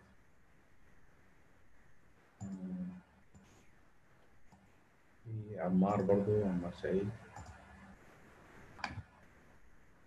أسئلة هنا في ياسين علي بيسأل على دقة الكاميرا. بيسأل عن شنو ما سمعتك معلش. الدقة بتاعت الكاميرا دقة الكاميرا ال resolution بتاع الكاميرا ولا كده؟ ولا ال- ال resolution بتاع ال- الكاميرا آه أنا طبعا استخدمت الكاميرا العادية. الكاميرا العادية لكن ال resolution ما ما مهم جدا جدا عشان أنت تتحصل على نتائج دقيقة. يعني ما ما بأثر لك في الدقة. هنا ال resolution أنا استخدمته عالي جدا جدا لكن أعتقد إنه لو ال resolution نقص إنه ما بأثر في النتائج كثير. طيب آه، مروان عنده تعليق بيقول إنه ما عندنا المقومات الأساسية للزراعة ولا المعدات الإلكترونية. ولو ما في قروش نشتري بيها قال أنا خريج جامعة من المعلومات حاليا مزارع. كان عندي. فهم شغل الري الإلكتروني يعني شغل سلسلات من بداية الزراعة حتى موعد الحصاد. لكن فتشت المعدات ما لقيتها كله كله بعدين واجهتني مشكلة الكهرباء ومشكلة القروش. يا ريت نحن نظبط الأساسيات وبعد ذاك نفتش لشغل الذكاء الاصطناعي وغيره. آه، طبعا الكلام ده يا ريت لو تدي تعليق يا دكتور. والله هو طبعا لو لو نحن انتظرنا إنه نعالج مشكلة والمشكلة بتعتمد على مشكلة تاني نحن ما حنحل أي مشكلة بالطريقة دي. يعني واحد بيقول لك نحن حاسه ما عندنا إمكانيات ما من المفترض ندرس حاجات زي كده. طيب الإمكانيات اللي بيصنعها منو ما نحن مفترض نصنع الإمكانيات. صحيح. طبعا دي التعليق ده دائما بنسمعه يعني في حتات مختلفة. من ضمنها مجموعه الباحثين السودانيين ذاتها في 2009 لما بدينا آه مم. بتذكر من التعليقات اللي كان كتبوها بعض ال- الإخوة والأخوات. يقول لك يا أخي إنه يا أخي يا أخي الناس ما لاقيه عيش وما لاقيه ما أعرف شنو يقول لي بحث علمي. فالليلة يعني معظم الناس بيكونوا اعضاء من المجموعة بيستفيدوا من الحاجات بتاعتهم كده فنحن محتاجين للبحث العلمي والطرق الجديدة والتكنولوجيا في أي وقت في أي وقت. حتى لو ما محتاجين إنه إحنا نفكر كمان في أولادنا وأحفادنا الجايين. يعني. أيوه فعلا. أنا أنا حسي وقت أنا فكرت في الشغل ده وأنا قبل ذكرت إنه عامل group. عامل group نسميه الفين السودان. ال group ده بيجمع ناس من تخصصات مختلفة لحل مشكلة معينة في الزراعة. أنا ما ما بالضرورة إنه أشوف نتائج. ال group ده حسه في خلال حياتي. لكن إن شاء الله أشوفه بعد أموت بعد 100 سنة ما إن شاء الله طول لكن. لو لو نحن ما بدينا حسه منو اللي بيبدا لنا كلام ممتاز. طيب آه، لو في زول يا اخوان عنده تعليق هنا في الزوم لو ما في زول فانا ما شايف لي تاني حاجة في في فيسبوك تقريبا. فبالتالي إحنا ممكن عشان ال seminar يكون قابل لإنه الناس تتابعه. يا ريت آه، برضو يا دكتور آه، الوسيله لو قمت من ال group بتاعك برضو انتخبت ناس على أساس إنه يعني يعملوا webinars قادمة في الموضوع تكون سلسلة يعني. في أبو القاسم أبو القاسم موسى. دكتور اتفضل مرحبا السلام عليكم. عليكم السلام والرحمة. هلا. تحية للدكتور وال presentation الرائع العمل الجميل اللي قام به يعني. أنا طبعا يعني طالب دكتوراه هنا في اليابان وفي المشروع بتاع القمح. في شراكة بين الإرصاد الجوي والبحوث الزراعية. شغال في في ال wheat wheat area وال background بتاعتي طبعا برضه هي يعني computer science قريت عندي machine learning و في محمد يوسف هنا اداني واحد من الأوراق بتاعتك. المفروض اقراها وداير أتابع معاك. دي فرصة سعيدة. أنا بس جيت ماري بالفيسبوك ولقيت لقيت ال presentation بتاعك وإن شاء الله حنتواصل يعني. إن شاء الله. واخد منك بعض المعلومات وكده. طبعا أنا زول background بتاعي multi يعني من الارصاد والزراعة وكده. مرحب بك أيوه ف... وعندي شغل في ال machine learning اشتغلت في ال SVM قبل كده في الماجستير في الشغل بتاع seasonal forecasting فإن شاء الله نتواصل. أنا بس داير أتعرف عليك لأنه يعني دي صدفة بحتة يعني جابتني للتكشن مرحب بك أي وقت. إن شاء الله حنضعوه مع بعض ونقدم معلومات مفيدة لبعض إن شاء الله. ممكن طبعا هاي في كتر خير ووفي وفي عبد الله على الانيشيشن بتاع الويبينار ده ومشرف في الباحثين السودانيين. وحصلت له مشاكل تكنيكال ده السبب اللي خلانا ستيب واحدة من الحاجات المهمة جدا في الويبينارز والاكتيفيتيز اللي بنعملها هي التشبيك. إنه ال scientist وال scholars وكلهم الناس لازم تكون مشبكة مع بعض. ونعمل promotion ليس فقط لل research كل واحد في مجاله إنما ال interdisciplinary وال multidisciplinary research الناس تنشر مع بعض وإلى آخره. فوفي برضو عنده مداخلة. وفي هو بيواجه صعوبة طبعا من ال وفي شكله فقد الشبكة فقد الاتصال. آه، جا راجع لكن. آه، وفي يا ريت لو السلام عليكم يا دكتور. أول شيء هذا يا أخي حتجي مشكلة الإنترنت. والله في الفاشله آه، الخط بيقطع شديد كتر خيرك يا وفي يعني انت من الفاشل بتحاول يعني تستضيف الويبينار وعملت يور بيست يعني ما قصرت. السلام عليكم. عليكم السلام. سامعينك؟ هاي تفضل.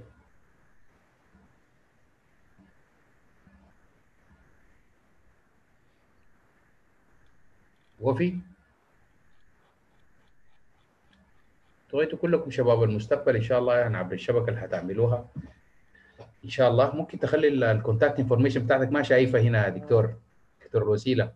أيوه ما خطيتها لكن حاخدها هسه ما مشكلة. هاي يا ريت لو عملت edit لل presentation ذاتها خطيتها. أساس انها تكون جزء من ال webinar. يعني آه، زول لما يشوف الفيديو لاحقا يلقى ال contact information بتاعتك. لو عندك ال group برضو لو خطيته هنا في ال في ال في ال ال- ال- ال- الشات ممكن ننقله للفيسبوك الناس يعرفوا كيف إنهم يصلوا لل group بتاعك ويكونوا جزء فاعل منه يعني. طيب أنا أنا هسه هاخد الرابط بتاع ال- group. قبل. يوم أنا كان عملت له وعملت له post في في مجموعة الباحثين السودانيين. أيوة. ذاته وفي ده اتعرفت عليه عن طريق ال- post ده. ممتاز والله. لكن هكتب ال contact حقي وهكتب الإيميل. يا ريت. وبعد ذاك اي واحد شغال في المجال ده ممكن نتواصل مع بعض. كلام ممتاز جدا جدا.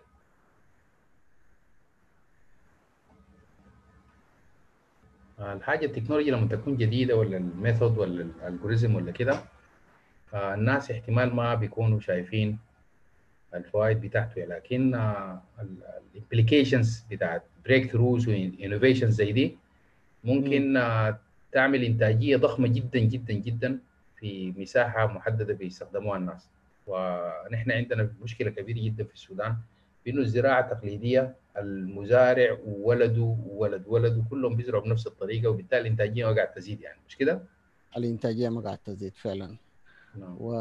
وبالتالي إنه إنه فائده البحث العلمي إنه فائده الباحث بالذات طلاب الماجستير والدكتوراه إنه يعملوا الحاجات اللي ما بيقدروا يعملوها المزارعين العاديين المزارع ال- ال- الطرق التقليدية إحنا نخليها للمزارع العادي لكن الشغل بتاع البحث العلمي العميق ده المفترض يعملوه الباحثين نعم. طيب خطيت ال contact information دقيقة خليني أعمل editing يا ريت.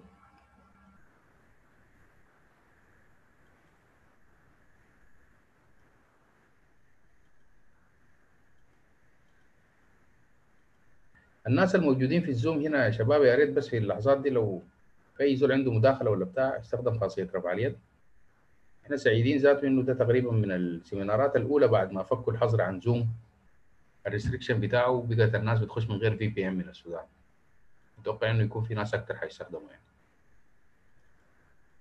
طيب أنا أنا مستخدم Office في في 365. الكمبيوتر ما عامل له activation عشان كده ما قدرت أعمل editing ولا يهمك ممكن تعملها في file بتاع Notepad بس وتعمل له share أو اكتبها هنا في ال في ال في الشات أنا ممكن أعمل لها share من عندي هنا ده بنوت okay. ولا أي حاجة. تمام. وخد برضو العنوان بتاع ال group بتاعك بتاع ال research أساس إنه برضه نخده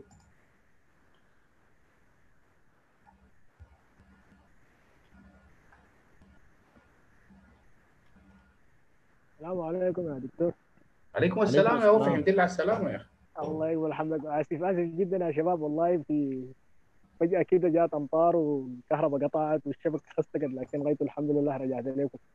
آه دكتور والله شكرا يا أخي. أنا كنت معاك لحد الدقيقة 40 تقريبا. ماشيين كويس في ال neural network والعروض اللي بتقولها. طبعا أنا يعني familiar جدا بال presentation اللي أنت قدمته. جزء من الماجستير بتاعك كان تقريبا عنه. وزي ما لكن اللي أنت اشتغلت موسع جدا واستفدت أكثر وإن شاء الله أنا حارجع أتابع اللايف ده ل- رواقه إن شاء الله. في فرصة للتواصل زي ما قالوا. مشاريع جاية.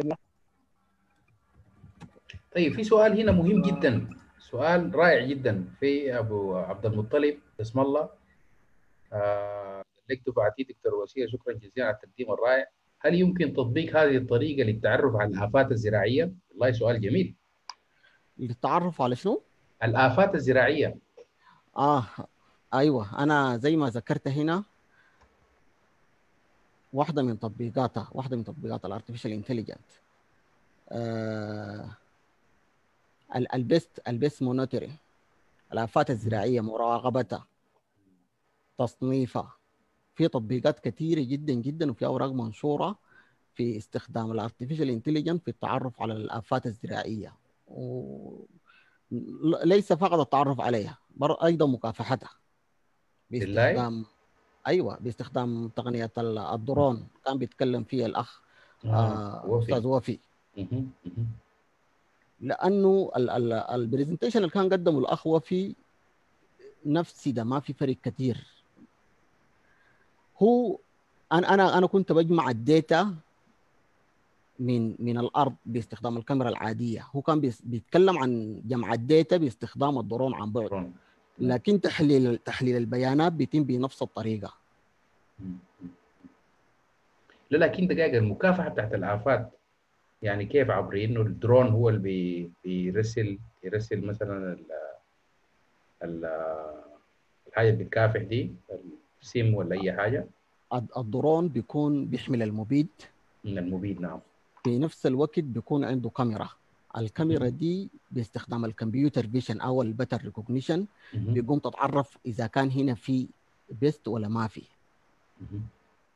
على اساسه بيقوم تطبيق بيتم تطبيق المبيد اللي هو ده بنسميه ال site specific management إنه بدل بدل يتم تطبيق المبيد على كل المساحة بالتساوي زي ما مستخدم في الزراعة التقليدية إنه فقط المبيد بيتم تطبيقه فقط في الموض... في المنطقة الموجود فيها الآفات.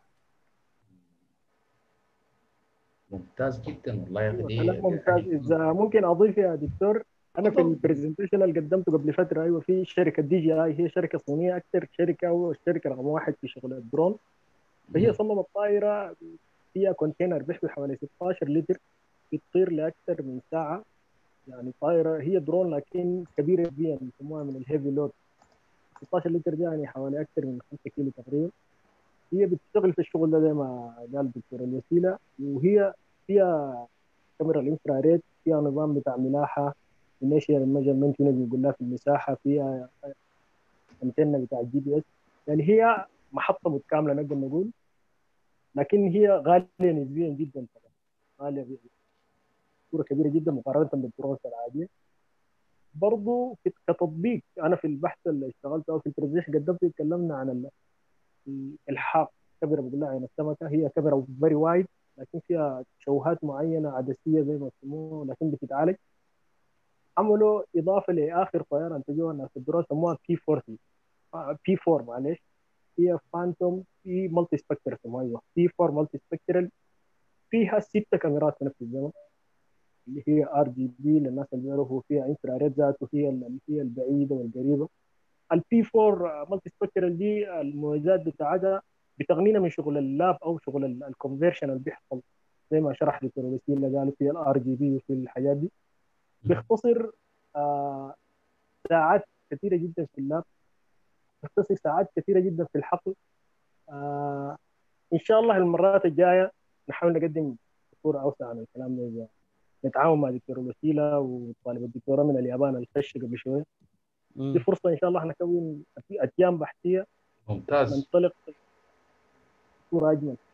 ممتاز. إن شاء الله إن شاء الله سنين قليلة حنطلع البحث ده على أرض الواقع. كل الناس دي حتشاهدوا إن شاء الله. ممتاز. والله ده كلام يعني صراحة مبشر يعني الواحد لما يشوف أنتم الشباب ديل آه بيتعاملوا في حاجات relevant لأنه واحدة من المشاكل الكبيرة بتاعتنا إنه غالبا يعني طلاب الدراسات العليا بيقوم بيعملوا بحوث بتكون irrelevant للسودان لمشاكل السودان. فهسي انتوا بتتكلموا عن حاجات relevant شديد وحاجة ممكن الناس تقدم فيها ل funding يعني آه ويتعامل حاجة يعني تطلع نتائج تطبق طوالي في, في الوضع يعني. طيب. آه راني الرشيد في أثناء بترسل لي في ال- رسيلة في الشات هنا ده المعلومات. آه في الأثناء دي في راني الرشيد. عندها سؤال قالت هل يمكن التعرف على إصابة الحشائش الطفيلية قبل ظهورها فوق سطح الأرض؟ ال parasite weeds مثل طفيل البودة والهالوك وهما من أخطر الحشائش على المحاصيل القومية. آه طيب أنا لحد الآن ما لقيتني تقانة زي دي بتتعرف على الطفيليات دي قبل تظهر. لحد الآن. آه هو طبعا ما في حاجة مستحيلة أنا بقدر أقول مستحيل لكن شايف إنه دي صعبة جدا جدا إنها قبل تصهر إنه يمكن التعرف عليها. لكن مم- ممكن بعد تصهر يمكن مكافحتها بطريقة فعالة جدا جدا بعد تصهر كلام جميل يا دكتور. أنا السؤال ده ممكن اجاب عليه بطريقة ثانية. في فترة دراسه أنا الماجستير في تركيا اتيحت لي فرصة اشتغل جهاز اسمه ال spectrophotometer تقريبا. هو مقياس ل- لل- ال- النباتات فبيقوم بيسجل ال- الأبعاد الطيفية للنباتات المعينة في الأوراق أو في الساق أو كده وبنغذيها أو بنعمل كود للبرامج اللي اشتغلنا بها سواء كانت ENVI ERDAS أو ال Python أو كده. بندمجها بتكون معرفة مسبقا فأكيد ال- الآن السؤال أو الاجابه على السؤال الان ما موفره لكن انه الناف الطيفي ده جهاز قدروا الناس يستخدموه. بيجي اليوم وقريب جدا أنا أعتقد هيتم إذا كنا خاصة نسجل له طريقه معينه بكاميرات تحت الحمراء أو مقياس عاليه دي في القريب العاجل محتاجة طبعا الحياة multidisciplinary في التخصصات الزراعة آه، الناس روم التيم البحثي إذا يكون متعاقد بكل المجال بإذن الله النتيجة ونتائج أكبر من كده الناس تتخصص تمام. دكتور وسيل هل رسلت المعلومات؟ آه دقيقة بس. الإيميل؟ عندي. لو رسلت هنا. والتلفون والرابط. آه هاي الرابط يعني. الإيميل والرابط بي- بيكفوا ما مشكلة. لو كمان خدت رقم التليفون كتر خيرك.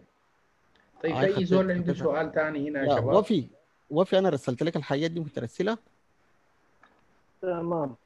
لو رسلتها هنا بس عشان ناخدها بتاعك، للناس. أيوه صح، خلاص أنا ب share ها. آه جيبها جيبها هنا خدها في الشات أنا بعمل لها share في ملف. بتاع منطقة أساس انه الناس. يكون جزء من ال webinar مهم جدا إنه الناس تكون متواصلة وتعرف الحياة تصلها كيف يعني.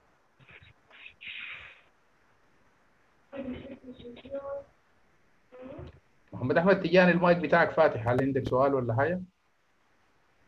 والله يا أخي السلام عليكم. أول حاجة. عليكم السلام. تفضل. عليكم السلام. آه والله حقيقة أنا very interesting في الشغل بتاع ال artificial intelligent بالذات في ال agriculture لأن عندي سابق تجربة في ال agriculture monitoring يا ريت تعرف نفسك آه، بس بس- عشان الشباب يعرفوك أكثر طيب آه معاكم أخوكم محمد تجاني آه خريج آه هندسة مساحة جامعة خرطوم 2002 ماستر سينس وجائز 2014 شغال في شغل الاجريشن من 2000 ألو؟ أيوه نعم كان بيقطع شوية لكن هسه واضح. تفضل. عندك. والله ال- ال- ال- الشبكة بتاعتنا بس شوية. ولا يهمك. تعبانة والكهرباء.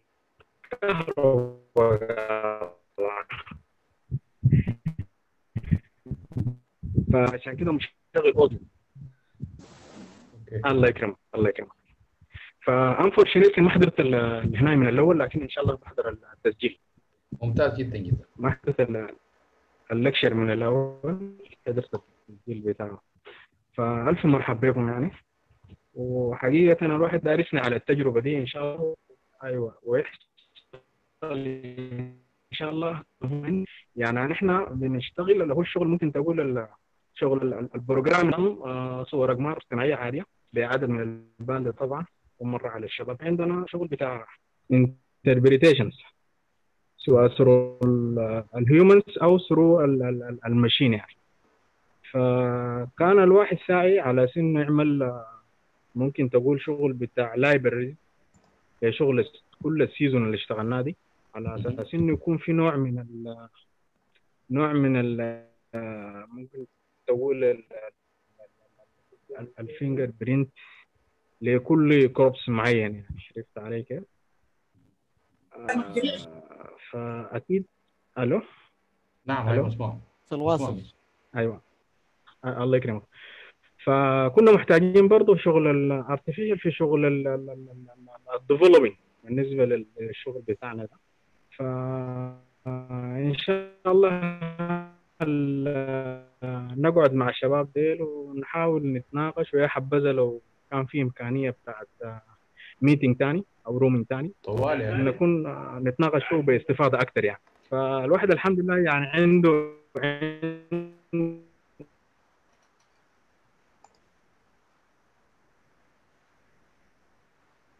عنده عنده تجربة.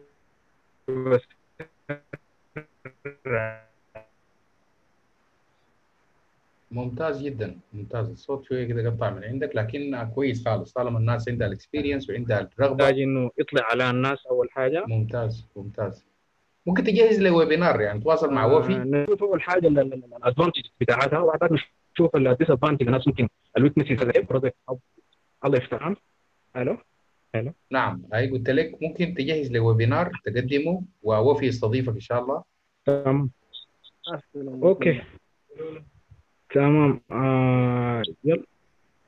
أنا حسي through chatting ممكن أرسل لكم ال- الإيميل بتاعي. يا ريت. وال وال phone برضو على أساس إنه يكون contact يعني. تمام؟ ممتاز ممتاز. ف- يعني ألف مرحب بكم وشكرا جزيلا على المجهود المقدر ده حقيقة. وعشان أقدر أناقشكم فيه بس إلا أحضر الهنا معلش sorry يعني. إلا أحضر ال- هاي تاني عشان نقدر نشوف يعني. بالنسبة لل- لل drones الحمد لله عندي تجربة برضه لكن في شغل هنا يعني. اشتغلنا باكر حاجة شغل ال- ال- ال planning شغل ال master planning بالنسبة للتخطيط من ال drones ممتاز. ألو؟ ممتاز جدا جدا. الله يكرمك. هسه أنا شايف يعني في بداية بتاعت مجموعة بحثية فاعلة ويعني direct to the point بتتشكل. شكرا لك لل initiative يا باشمهندس وفي.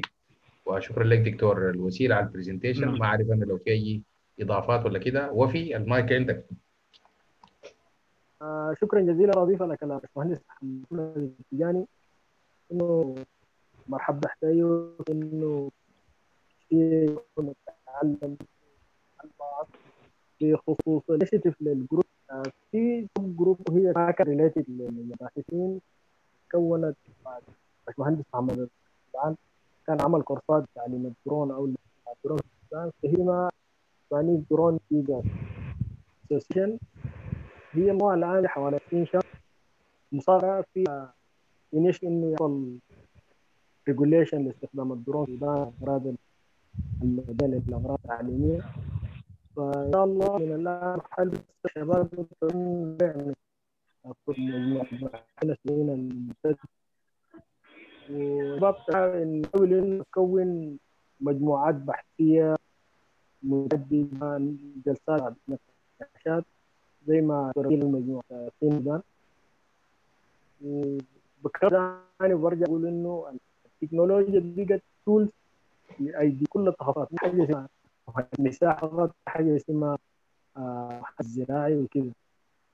فكل التكنولوجيا بنستخدمها كل خدمة البشريه زي ما بيقولوا تعاون زي ما قال البحث العلمي غير من تعاون